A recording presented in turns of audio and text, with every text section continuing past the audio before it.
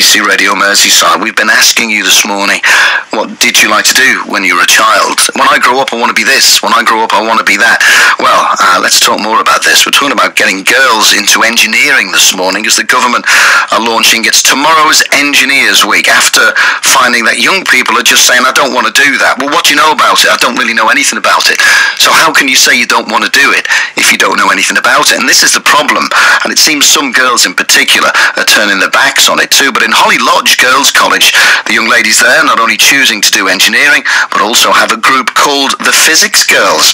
Uh, I think we have Hamdi Ogunlai, who's on the line now. And uh, good morning to you, Hamdi. Good morning. So you are part of the Physics Girls, are you? Yeah. You sound as though you should be on the X Factor with a name like that. Tell me about the Physics Girls. Um, it was meant to be just a simple Twitter account to Hmm. like conclude every one of our lessons. So we'd like to write a tweet to summarize what we'd learned.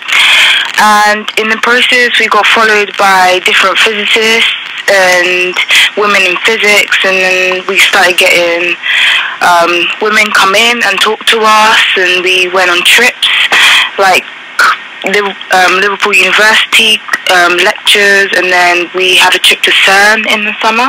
Oh, CERN. This is where the uh, the the um, hydrogen thing underneath the Swiss Alps. I Yeah. you see, I didn't do engineering. The hydrogen. Uh, me- I'll get it. I'll get it. It's the hydrogen something or other. Do you know the name of it? The, hy- what's the hydrogen? No. Hadron Accelerator, that's it, not the Yeah. Hydron Accelerator, the Hadron Accelerator. So you're gonna have a, you're gonna have a, a trip over there as well. No, we've been. Oh, you've been. What was it like? Um, it was really interesting, Yeah. and we got a lot of tours around the p- CERN itself. Unfortunately, we weren't allowed to go down to the um, The thing. underground, Yeah, but the thing. we watched a lot of really cool videos and saw like literally physically how it works. So this all started with with a tweet, and it was was engineering and, and physics something that you were you were really into anyway. Was it, uh, Andy? No, it was. Um, I've always been. I've never really been a science girl, Yeah. so. But it was science was just something I did. Kind of like a side subject, which is weird because it's so hard. See, well, you know, when I was in school, science was always uh, it was the domain of the boys, and engineering was always the domain of the boys. I mean, it's a lot different now, thankfully, isn't it? Yeah, it is. Yeah.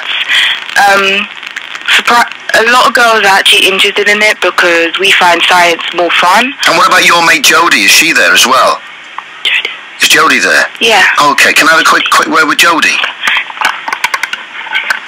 Hello. Hiya, Jodie, are you okay? Yeah, yeah. I love, the, I love the way your mate Hamdi went, Jodie, Jodie, quick, you up. Jodie, you quick. Uh, so what about you and the engineering and the science and the physics? Uh, is that something you wanted to get into too, or did you just fall into the interest? Um, yeah, I'm looking to be a chemical engineer, so that's what I'm hoping to study at university. And, and what do you do as a chemical engineer then? Um, design systems for chemical processes. Wow, okay. Is that something that you've always wanted to do? I mean, because most little girls, uh, I suppose, that wouldn't be on their list. Well, no, it's not something that I've always wanted to do, but um, last year I went to Mersey STEM's Engineer Your Future Career Day, and um, there I got to do loads of workshops, and while I was there I worked with some chemical engineers, and that really inspired me to do that, and I've just completed a four-week placement at Mexichem Fluor in Runcorn.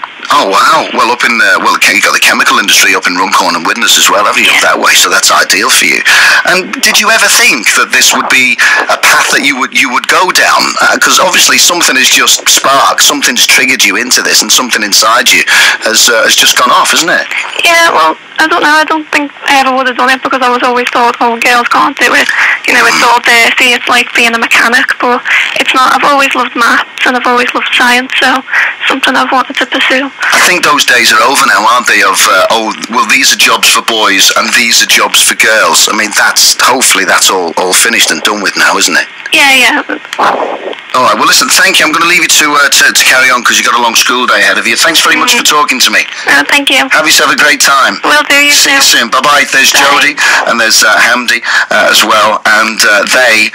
Well, what can you say? They are our future. Say no more. They are the ladies. I mean, chemical engineering. And I, I do apologize. That's why I push buttons and talk rubbish because I don't know what the hydra. Still, is it the hadron hadron collider underneath the uh, underneath the Alps? You see, I knew nothing about that, but I pretended I did. It's all smoke and mirrors. It's all bluster. Twenty-eight minutes to nine. Let's get the. late.